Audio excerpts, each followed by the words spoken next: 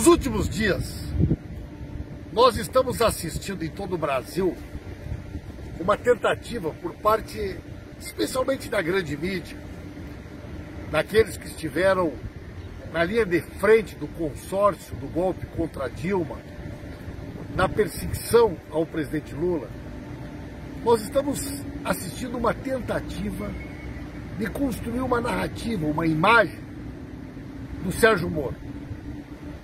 Nós sabemos que o Sérgio Moro cumpriu um papel nefasto contra a democracia, contra a economia nacional, na perseguição ao presidente Lula. Nós que estivemos desde o primeiro momento denunciando a Lava Jato, a relação do, do Moro, do Dallagnol com os Estados Unidos, precisamos mais uma vez, Vadir, ocuparmos um espaço de debate na sociedade brasileira para nos contrapormos a esta tentativa de criar uma narrativa em torno daquela figura do Moro herói que nós conhecemos.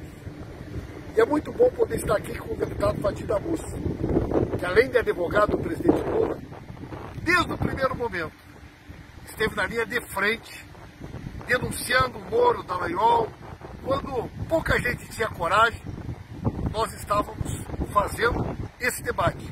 E mais uma vez, Fatih, nós precisamos entrar com força total para fazer o contraponto a essa tentativa da mídia de reeditar a história do Moro herói, Fatih. Sem dúvida, Pimenta. Sérgio Moro é uma das piores figuras públicas, uma das mais nefastas figuras públicas da história republicana brasileira.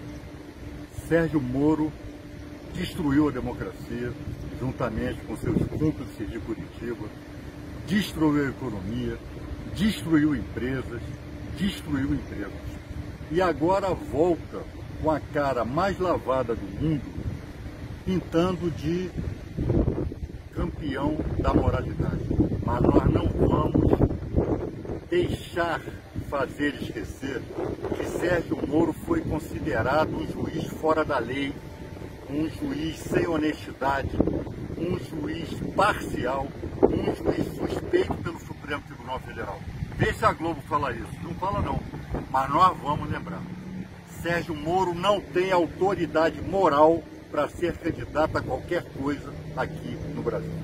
Além disso, prezados amigos e amigas, Sérgio Moro tenta pintar como um democrata, um defensor da democracia.